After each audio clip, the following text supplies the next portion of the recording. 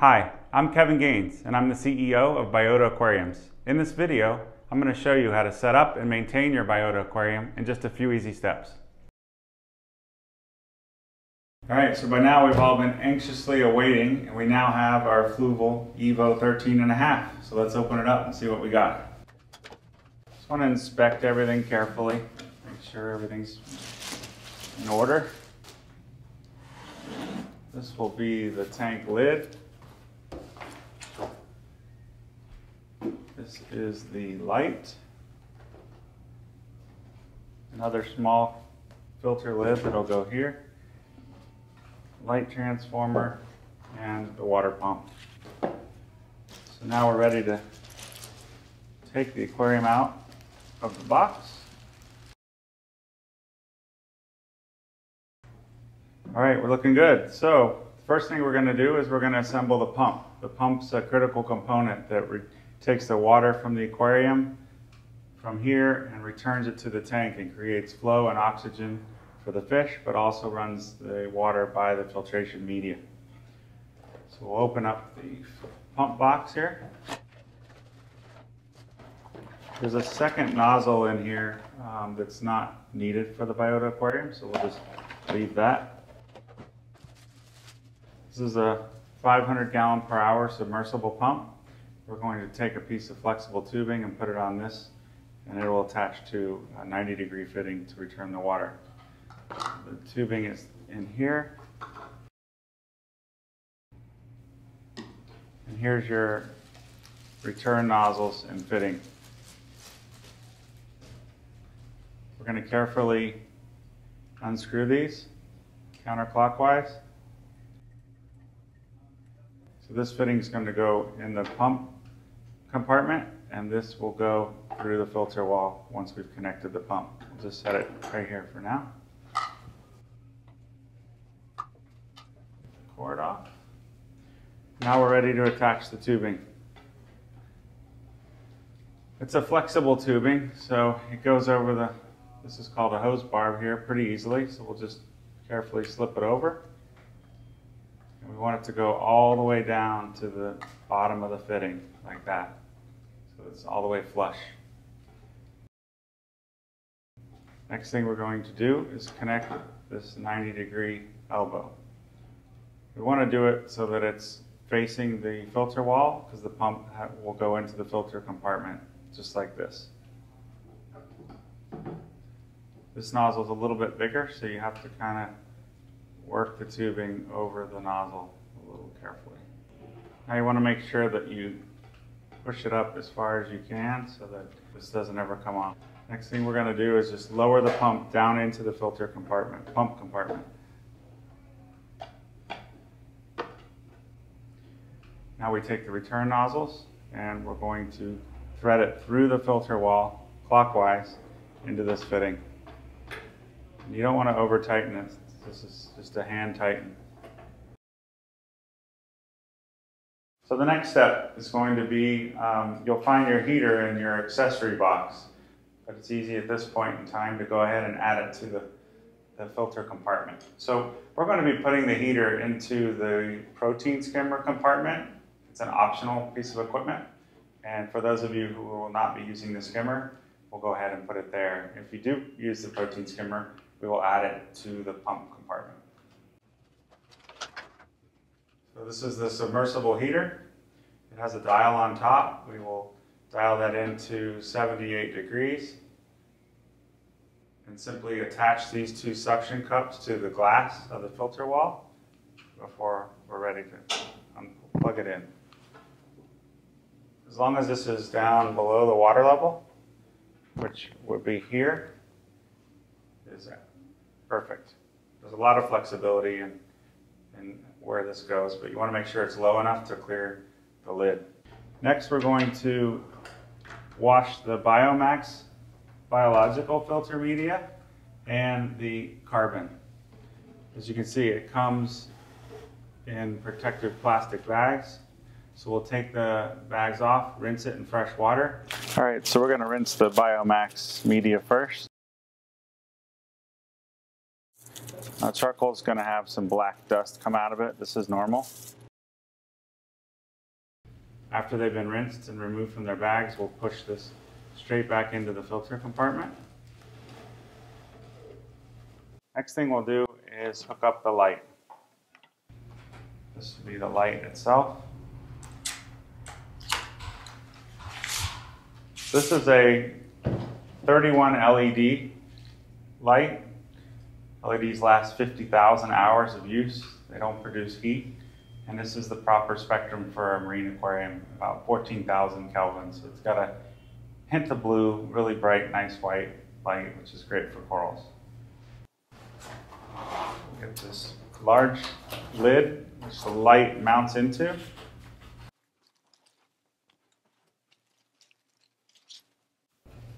So the light cord will be running through this hole here and out the back of the aquarium. We'll set this into place for now.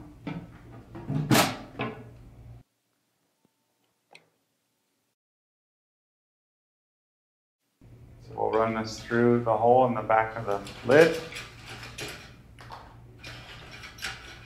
and set the light into place.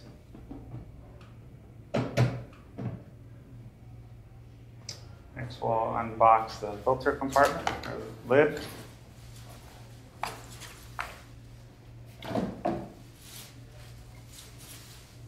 This merely just hides all the cords, slows down evaporation. If you notice, there's two notches. We use those to run the electrical cords out of the aquarium and make sure the lid's flush and seated properly. And uh, we'll be ready to start adding seawater and mixing the sand. Now it's time to make seawater and begin to fill the aquarium. So today we're going to be using some filtered water. So let's talk about that just for a minute. Um, the water that you put in the aquarium is critically important because if it's not filtered like reverse osmosis or um, charcoal filter and ozonated, um, you end up adding nutrients to the tank that fuel algae and create problems. Uh, phosphates or silicates or other things that are found in, in tap water and non-filtered water. So today we're going to be using purified water. I should hope that um, you have access to such. If not, then you can use tap water as a last resort. So we'll just start to add the fresh water.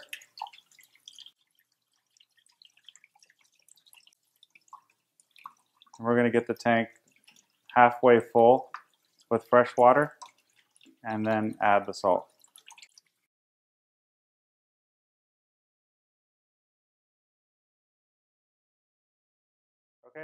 So now we're going to add both packets of salt to the fresh water. There's a notch here in the top right corner. We'll tear that and dump it straight in. Each one of these will treat up to five gallons of full strength seawater. And since we're not going to be at full strength seawater, this makes enough, the water salty enough for the entire aquarium. We'll add both packets and then mix it in the tank.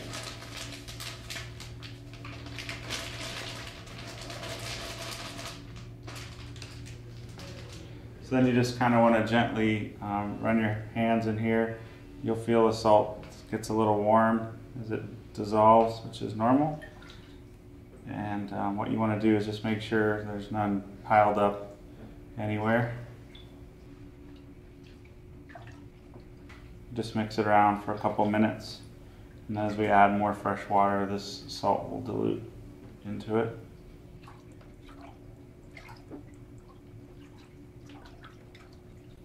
So I can feel it in my fingers just slowly disappearing. And it's okay that there's a little bit um, undissolved because it will naturally mix in on its own. But because we're going to be adding the sand next, we want to make sure that there's no piles of undissolved salt underneath the sand. Okay, so we've, uh, we've added both packets of salt. There's none on the bottom. It's actually already starting to clear. I can already see the bottom glass of the aquarium. It's only been just a few minutes. And now we're gonna add the live sand. So we'll take the pack of six pounds of live sand and we're just gonna cut one of the corners open. So we add the sand now so that uh, the water level rises and is displaced with the sand prior to being full, as well as um, it creates a little less turbidity in the aquarium by adding it now versus when the tank's full of water. Okay, so we're gonna cut this corner.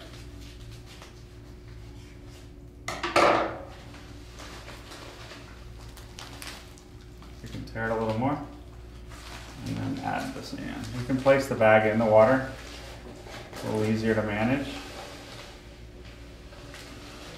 You just want to kind of spread it out evenly. We'll, we'll straighten it out with our hands here in a minute, but no wrong way to do this. Try to get as much of it out as possible.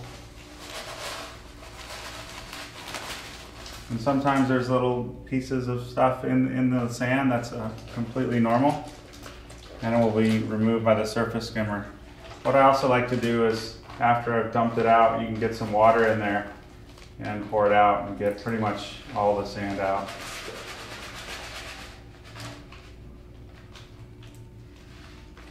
Yeah, that's good. So we'll slowly kind of make this even over the bottom of the aquarium so it's not piled up anywhere.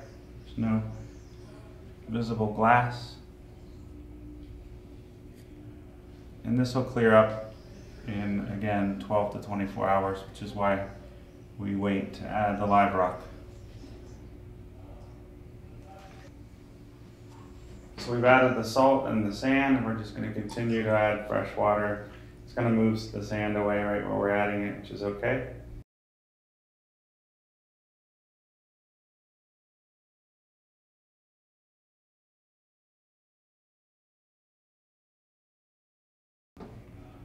We're good. So just shy of 11 gallons. Yeah, so we're using the hydrometers to check the salinity now that we've added um, just about 11 gallons of fresh water and then the, the two packets of salt and the live sand.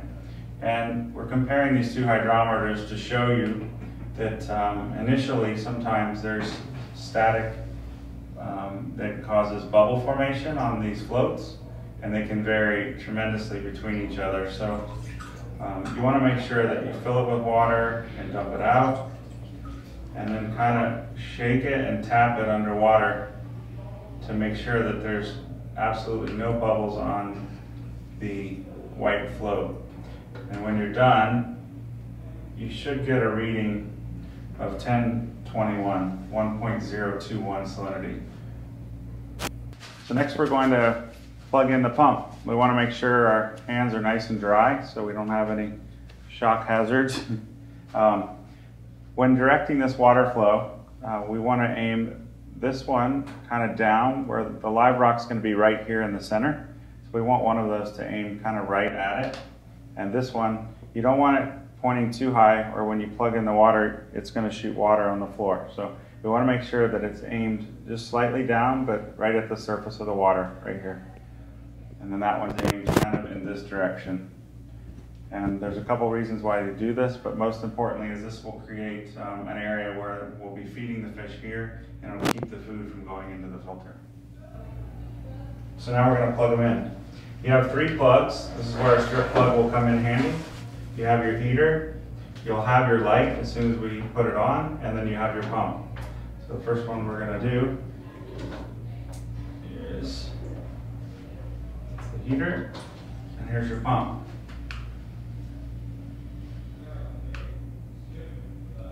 So this will start the filtration process and the water will all migrate towards the surface overflow here, go into the filter compartment, past the heater, through the biological biomax media, the charcoal or the carbon, and then to the pump. At this point, we'll straighten out the sand gently. Just be careful when you put your arm all the way in the tank because it's pretty full. And we'll cover up the areas where we added water. And we'll start to remove all these bubbles off of the back wall with our hands. They'll eventually disappear as well, but um, it's nice to just go ahead and do it while the tank's empty before the rock and stuff get here. Okay, So the tank is running, the filter's uh, pump's working, we can see the flow here, and we're ready to uh, put the lid and the light on. We're gonna go ahead and remove the hydrometer. You can just gently slide it up the glass. It's probably the easiest way. And take it out of the tank.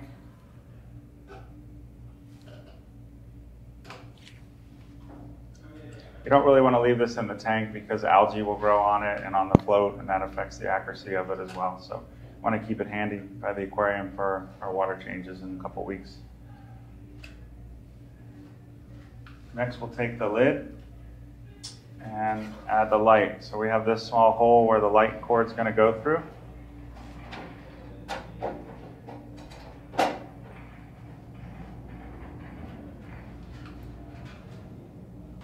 Just pull it through here.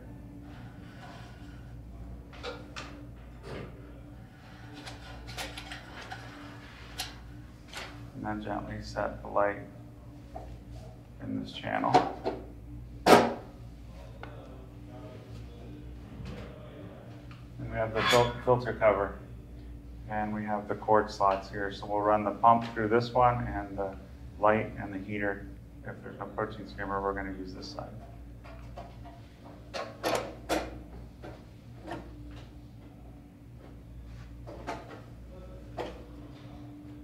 All right, we're all set.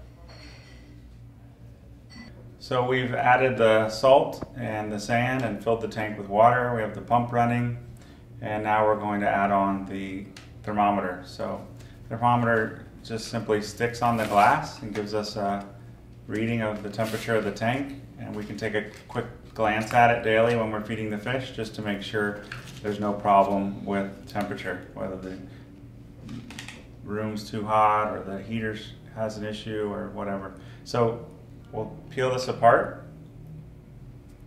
and we're going to place this in a conspicuous area but not obviously where we want to view the aquarium. So I like to put it right down in this corner here just above the sand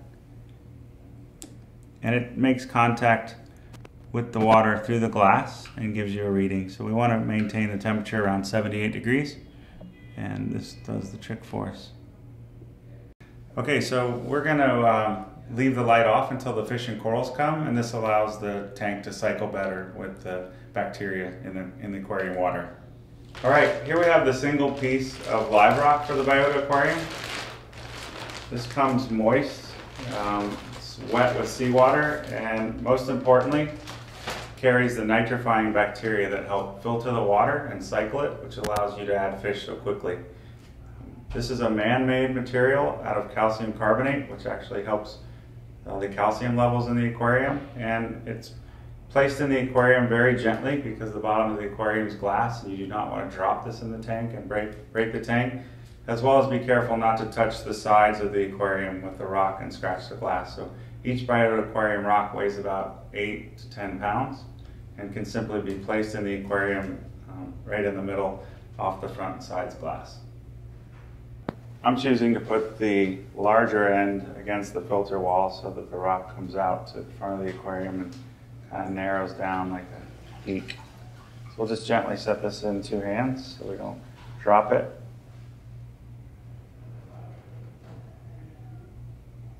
And it's uh, stable, it's not going to go anywhere. Um, so the, the nozzles, as you can see, are, are running. You can see the pump, the water movement. It's a 500 gallon per hour pump which um, takes water in here through the surface. So any oils or different things, surfactants get filtered out and they go into the filter where they're biologically filtered and the carbon treats them as well before being returned by the pump past the heater. What I recommend is you point one of these nozzles kind of down across the top of the rock. So it's the water level, one of them shooting about here. And I like this one on the surface. It makes a little bit of a ripple for the light um, as well as when you add food, which will be at this end on the, through the lid, the opening, the food stays around here for the fish to eat without it going directly into the filter where they can't eat it and it breaks down and causes problems. So this, uh, this nozzle arrangement here works, works really well for that. Okay, so we've re received our live rock. Our tank is ready to receive the fish. We activated the code and we made arrangements to be home. The fish are shipped via overnight carrier, so we want to make sure that you're available to receive them the day after you order them. And they come in an insulated box just like this. These fish are shipped um, in a cooler for temperature control. In the summer, we use ice packs, and in the winter, we use heat packs to maintain the temperature. And this is an industry standard for the fish. We, we really take care of these animals and we want to make sure that they arrive to you in the condition that they left our facility. So you have an insulated styrofoam box, a liner bag to control any spills, and your fish. So here's the Rainford goby. And the clownfish.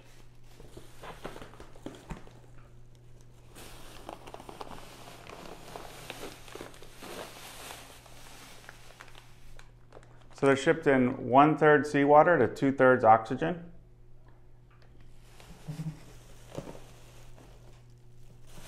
And the next step is acclimating them. So we're going to float them in the aquarium and then release them to the tank to their new home.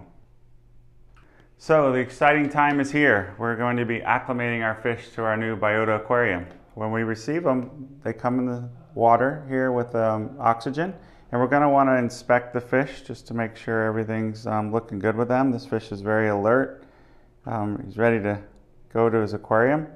And sometimes when they come in, they'll be a little bit pale, and this is completely normal. So the acclimation process will be involved in floating the bags in the aquarium for 20 minutes to acclimate the temperature.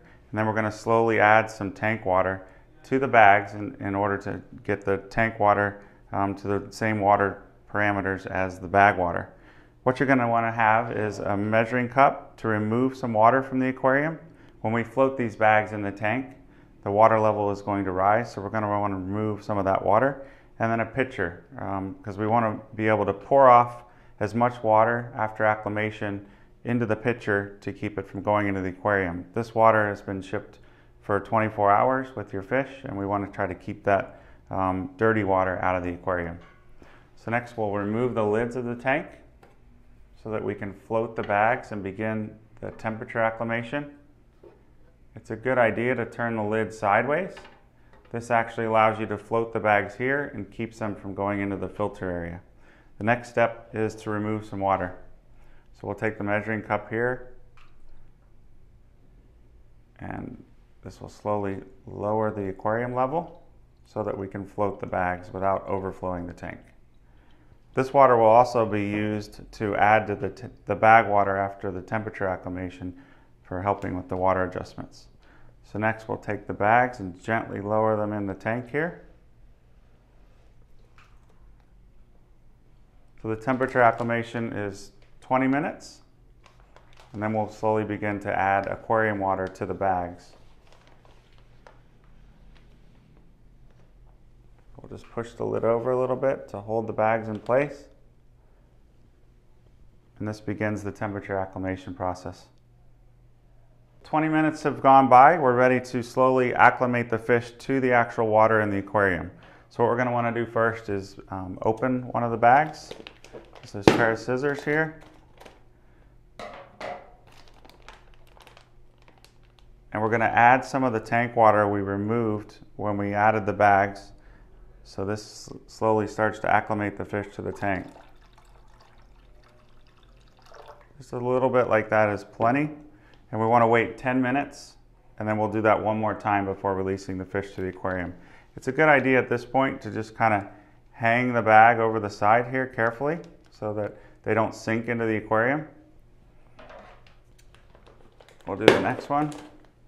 Same process, just add a little bit of the tank water we removed and this helps bring the fish to the same pH and water parameters of the aquarium they're getting ready to go into. So we'll wait 10 minutes after adding the water and we'll do it one more time and then we'll be ready to release the fish into their new home. Since this bag is a lot smaller with the Rainford goby, we'll just add a little less water And you can also um, use the lid again to help hold these bags in place. You don't want them sinking into the tank and the bag water getting into the aquarium. So we'll wait 10 minutes now and repeat the process and then we'll be ready to release them. Okay, so we're 10 minutes away from being able to acclimate our fish fully to their new aquarium. This is the second addition of tank water to the bags, so we'll wait 10 more minutes after adding water a second time. And then we'll be ready to release them. So we'll just do the same thing we did before by adding a little bit of water to each bag.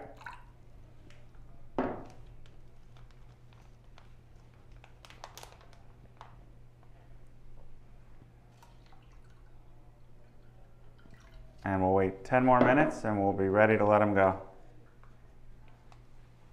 Okay, so now we're ready to actually release the fish into the aquarium. The moment of truth. So we'll um, slide the lid away. We'll start with the small Rainford goby. So what we're going to want to do is pour off as much of this water as possible into the pitcher so we don't get this water back into the aquarium. So we're going to pour it off. Just keep an eye on the fish. And it's okay to get a little bit of this water in the aquarium, so I can use my hand to hold the fish a little bit in the bag like I am. And now we'll just kind of gently slide them in. So there's the Rainford goby. Next we'll go to the clownfish. Same process. We're going to slowly remove the bag here. Let um, a little bit of the water drip off so it doesn't go all over. And we're going to pour off this water. You can actually scoop the fish with your hand if you're comfortable with that. It's not going to hurt the fish. We're just going to pour off the water here. Once again, trying to eliminate as much of the bag water as possible from going into the aquarium. And as it gets lower, I can actually um, keep the fish in the corner of the bag with my hand. They'll want to swim out, but that's okay. So we just want to watch them.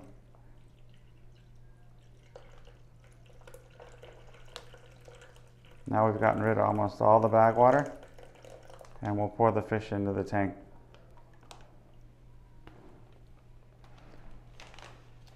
And the last bag, same process.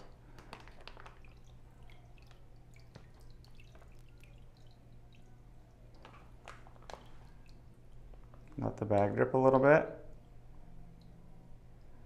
And now we're ready to pour off this water.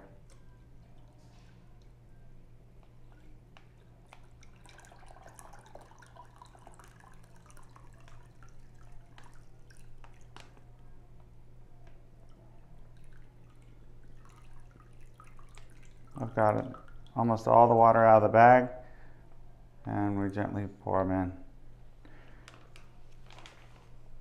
So sometimes the fish will go down and, and um, hide for a little bit or they'll be ready and swimming around. It all depends on um, you know how they arrived, but in, in, the fish will be eating in a matter of hours. So um, yeah, this is a acclimation process. So the Biota aquarium comes with um, some options for soft corals.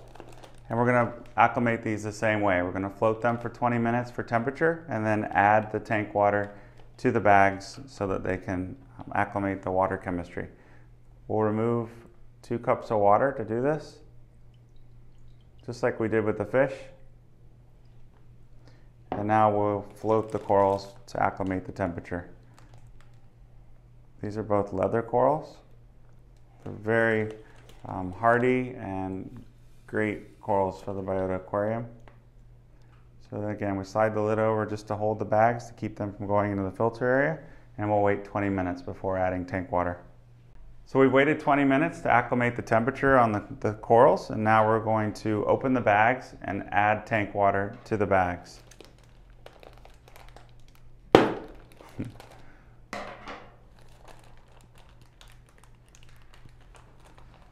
Just a little bit of the water we removed from the aquarium goes in and then we'll wait 10 minutes and do that one more time before we put the corals in the aquarium.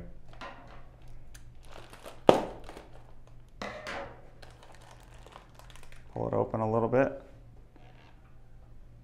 Add a little tank water. Slide the lid to keep them from sinking into the tank. And 10 minutes, we'll do the same thing. So we've waited 10 minutes. We're gonna add tank water to the bags one more time before we place the corals in the aquarium. So this is the second 10 minutes of acclimating water to the bags. We'll add a little bit to each one again. And once again, this just stabilizes the pH and acclimates the difference in salinities and different things from transport. So we'll slide the lid back over and then in 10 minutes we'll be able to place the corals into the aquarium. So we're done acclimating the corals and we're ready to add them to the aquarium. So what we're going to do is slide the lid over and we're going to pour off the water out of the bag just like we did with the fish. We don't want this, keep it out as much as possible.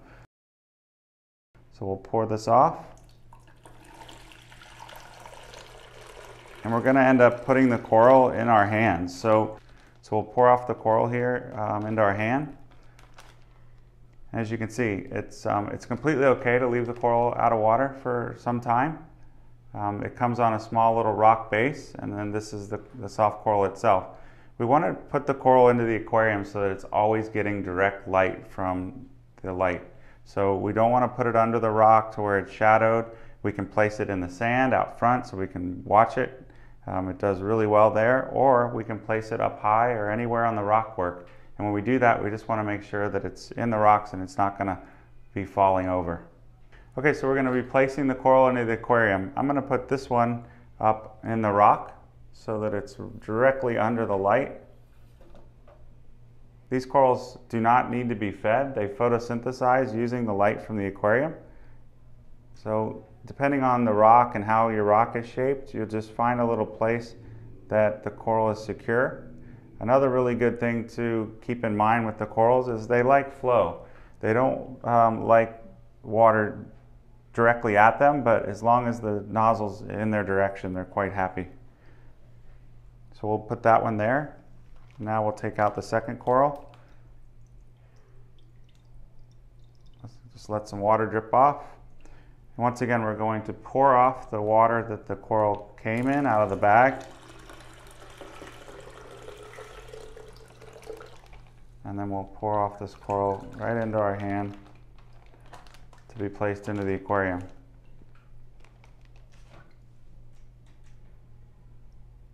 So this is the coral. It's attached to this base, this rock. And we're going to place this one right out front in the sand in the direct light. You can also place this one in the rock if you'd like as well. It's really up to you. But as long as the coral is directly under the light, it will do really well. Okay, so we've set up the aquarium, we've acclimated the fish and the rock, and we have the light on. And so we're gonna go over some things that we wanna observe uh, on a daily basis. So we wanna check the aquarium, we wanna count for all the animals, we wanna monitor the fish, make sure they're happy. I see all three fish. We look for the corals, make sure that the ones we recently placed in the aquarium haven't fallen over and they're still where we've placed them. And we want to make sure that the water is flowing, and we can see that by the ripple in the tank as well as the water moving at the surface. Um, the next thing we want to do is just monitor the temperature. We want to make sure we're at 78 degrees and the water level in the reservoir. And this is the proper level we want to maintain in the aquarium. So now we're ready to feed the fish. And so we're going to talk a little bit about how much food to feed. People ask, how are you able to put the fish in the aquarium so quickly? And the key is, is that we've added the live sand, which had the bacteria. We added the live rock that has nitrifying bacteria. And we're going to strictly control how much food goes in. So this is what's going to become um, waste products in the aquarium. So we want to be very careful not to overfeed. We provide this pellet food to get you started. And we'll show you just how little food this takes to feed the fish. So we're going to feed this much food twice a day. And we don't want to show our friends how our fish eat three or four times a day because that will lead to a big, big problem. So we need to strictly adhere to how much food we feed and the water changes. And that keeps us from having any water quality issues, especially during the beginning cycling phase of the aquarium. All right, so our fish are ready to eat. we're going to add the food right here in the opening here at the end of the aquarium. So we've directed the water flow across the tank to keep the food from going into the overflow. It typically flo floats for a little bit and then slowly sinks. Thanks for watching the video, and please share your stories on our Facebook page and be sure to check out our website at biotaquariums.com.